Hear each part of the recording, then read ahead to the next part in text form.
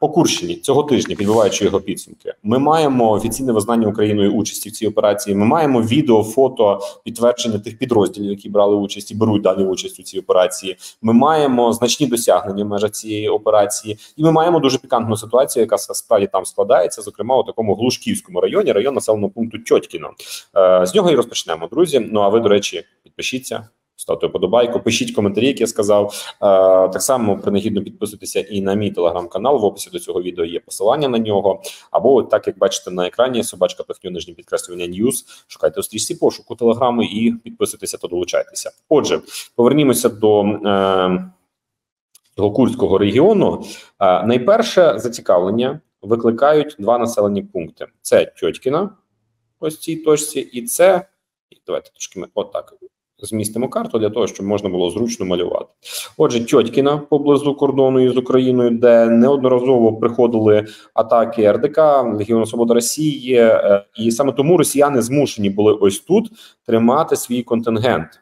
Вони не могли просто покинути е, цю територію, оскільки е, заходили постійно РДКшні легіоносвободівські, скажімо так, диверсійні групи, і тому росіяни розмістили тут своїх ВДВшників. Якщо не помиляюся, 98-й полк ВДВ, який е, учора буквально я показував відео, як е, кошмарить наша авіація. Прильоти туди були джейдамів е, по місцю розквартирування цих бійців російського ВДВшного полку. Відтак у Тьотькіному були російські війська і тримали кордон, вочевидь контролюючи. Але зараз вони ризикують бути відрізаними насамперед по річці. Е, по лінії річки е, Сейм, що тут протікає. Ось річка Сейм, ось таким чином в'ється від державного кордону через Глушкове, і далі, фактично, що на північ до Рильська. Ось туди, е, в тому в тому напрямку, населений пункт Рильськ, Рильськ, Львов. От туди. Давайте так напишу, щоб було наочно зрозуміло. Рильськ. Е, і за нього, до речі, ще попереду я буду говорити надалі, і там дуже цікаві події в ньому розгортаються. Ось там Рильськ. Е, наші війська вже затисли е, річку Сейм з цього напрямку. Як ви бачите, сіра зона сюди наблизилася. А те, що сіре, вважайте, що вже і синє. Відтак є загроза того, що по лінії державного кордону, тобто по ось таких точках, чорним домальовуємо держкордон, російські війська будуть в такому собі котлі опиняться в оточенні всі ті 700-800 десантників, що там е, сидять у Тьотькіному, про що пишуть російські е, воєнкори, і наші війська зможуть оволодіти за різними даними. Ну десь плюс-мінус. Говоримо. Я з калькулятором, чесно кажу, не рахував до 300 кілометрів квадратних території. Е, ось тут зможуть зайняти. Проте навіть не кілометр, насправді що важливо у цьому контексті. Е, чому я кажу про те, що таке може бути? Тому що вчора вже я показував, що наші війська дуже інтенсивно атакують міст, який є тут у Глушковому, перебуваючи цю логістику противника. Ну і от цей міст станом на вчорашній день.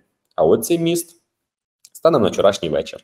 Як ви бачите, вже його приземлили наші бійці, знищивши його, е, не даючи можливості користуватися ось цією переправою, де буквочка X стоїть. Знаєте, я іншу карту навіть наведу. Е, ось е, є такий телеграм-канал Око Гора. Чудово було намальовано авторами цього телеграм-каналу цю мапу. Отже, там, де одиничка стоїть, це якраз таки знищений. Ось цей знищений міст у населеному пункті Глушково. Далі є ще е, такий район. Е, населеного пункту із, скажімо так, другим мостом, що тут розташовується, населений пункт Званове. Е, тут у Звановому, у Званному, перепрошую, Званне, Званному е, вчора були повідомлення про відпрацювання цього мосту. Він під питанням, скоріш за все, він так само зазнає значного ураження і потенційного дуже близького, скажімо так, знищення на ось цій мапі. Званне, ну це приблизно так. Поставимо точку десь ось тут. Е, І є ще третій міст, який е, лежить в населеному пункті. Е, населений пункт називається Кариш. Кариш, так, це дуже близько уже до українського кордону на мапі State. Ось тут буде третя точка цього третього моста. Тобто, ось тут перший знищений, другий під питанням, і третій. Єдиний, вочевидь, е, е, станом на зараз поки що відносно цілий міст, який забезпечує логістику Е, ось таким чином приблизно це проходить до Тьотькіного. Перерізання цих всіх трьох мостів буде означати те, що Тьоткіно буде втрачене. Знову ж таки, от дивимося на цю мапу. Два мости ще вже знищені. Фактично, що третій, ніби цілий. Якщо операція складеться, а не хочу забігати наперед, але дуже є висока ймовірність того, що рано чи пізно це станеться. Це буде неймовірним досягненням для наших військ, і ми маємо перспективу взагалі побити той рекорд по кількості захоплених російських бійців у полон. Буквально вчора я показував 102 було захоплено центром спецоперацій Альфа Служби безпеки України. Зараз до 700-800 десантників. Ми говоримо, які розквартировані ось тут у Тьотькіному нижче південно-західніше, фактично цієї території. Е, крім цього, е, ми говоримо також і про те, що іншу карту вам друзі е, демонструю від Ukraine Battle Map. Е, ця карта показує, що ну дуже наочно все те саме про що ми говоримо. Е, що наші війська не просто так знаєте, на абум знищують ці мости, а зі сходу на захід. Тобто, повертаючись до нашої мапи Deep State, яка вже і так доволі так намальована гарненько і щільненько, ось таким чином від одинички до трьох, тобто з права наліво за такою стрілочкою е, знищуються ці мости. З якою метою це робиться? Уявімо собі, що залишиться справді один єдиний міст найближче до території нашої країни. Фактично, це буде єдине таке вузенько горло пляшки, через яке росіяни можуть можуть здійснювати свою логістику.